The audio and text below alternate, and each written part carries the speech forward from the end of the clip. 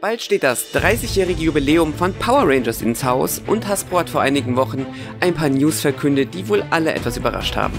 Lasst uns jetzt also mal auf die ersten Infos von Power Rangers Cosmic Fury blicken. Das hier ist ein kleines Ergänzungsvideo zu die Zukunft von Power Rangers. Wenn ihr das also noch nicht gesehen habt, schaut da doch zuerst rein. Das Video findet ihr auf dem i.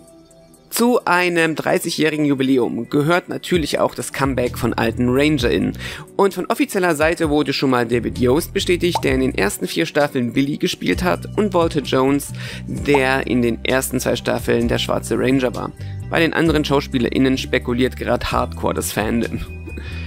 In Dino Fury wurde ja auch Lord Z wiederbelebt und der scheint auch in Cosmic Fury wieder einer der Hauptantagonisten zu sein.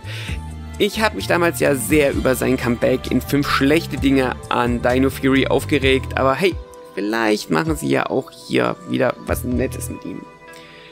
Und bevor wir jetzt zur krassesten Enthüllung überhaupt kommen, hier erstmal kurz ein Dankeschön an alle von euch, die mir letztens ein paar kleine Euro bei Kofi hinterlassen haben. Ich weiß das irre zu schätzen und jeder von euch, den es betrifft, Ihr wisst, wer gemeint ist. Vielen, vielen lieben Dank und das Geld geht hier in weitere Projekte rund um Tricera Blue. Nochmal ey, wirklich vielen, vielen Dank. Ich mache was Sinnvolles damit, glaubt mir.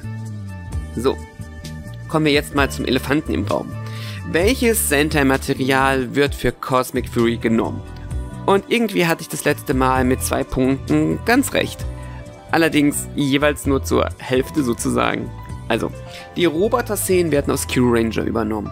Allerdings wirklich nur die Sort-Szenen. Alles außerhalb davon wird man komplett selbst drehen. Und dafür wurde von Sarah Woon auch mal gleich neue Suits designt. Also lasst uns mal einen Blick auf die ersten Self-Made Suits seit langem gucken. Also, wir haben hier dieses eine Promo-Bild. Wie ihr sehen könnt, die Stiefel und die Helme sind noch relativ die gleichen wie in den Dino Fury Suits. Die Helme wurden leicht abgeändert, Izzy und Ion haben so ein paar nette kleine Paintjobs an den Helmen und ein paar kleine Applikationen bekommen. Die Brust an sich sieht schon sehr, sehr frei aus. Wir haben so eine Art, ja, ich würde jetzt mal sagen Harnisch und am unteren Teil des Oberkörpers ähm, haben wir so eine silberne Stelle. Und auf der anderen Seite ist dann das Grün bzw. das Gold ein bisschen dunkler. Auf dem Gürtel ist der gute alte Powerblitz. Der gefällt mir jetzt ehrlich gesagt nicht so, aber das ist reine Geschmackssache. Mich erinnert er immer wieder an die Zeit, als man bei den Spielsachen unbedingt überall diesen Powermorpher hinklatschen musste, auch wenn er da nicht war. Aber das ist meine persönliche Erfahrung. Es gibt definitiv noch viel, viel schlimmere Entscheidungen, die man hätte treffen können. Was ich aber ganz interessant finde, ist, dass sie auch endlich individuelle Waffen bekommen. Das hat mir so ein bisschen in Dino Fury gefehlt.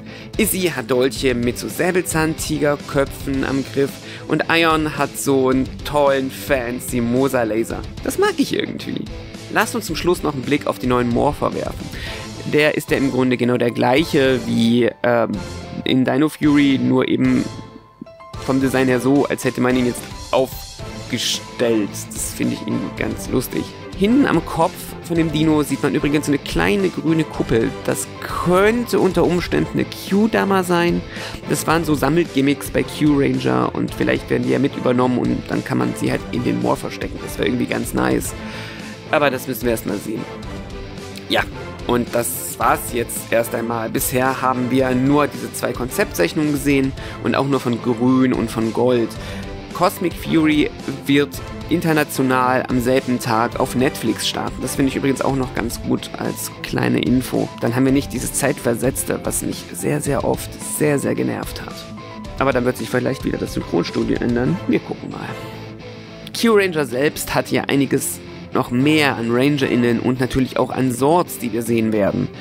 Was meint ihr? Bekommt Void Knight vielleicht in, in der Staffel endlich mal seinen eigenen Sword? Und ja, welchen ehemaligen Ranger oder Rangerin würdet ihr gerne sehen? Schreibt es mir doch mal unten in die Kommentare.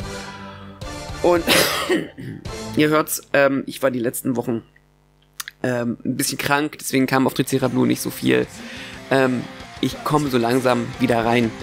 Wenn ihr euch die Zeit noch ein bisschen vertreiben wollt, findet ihr hier unten die Geschichte von Super Sentai, dem japanischen Original von Power Rangers. Und unten drunter fünf gute Dinge an Power Rangers Ninja Storm. Guckt euch das an und sobald ich wieder fit bin, kommt auch wieder mehr Content. Ich wünsche euch was. Haut rein. Bis dann. Ciao.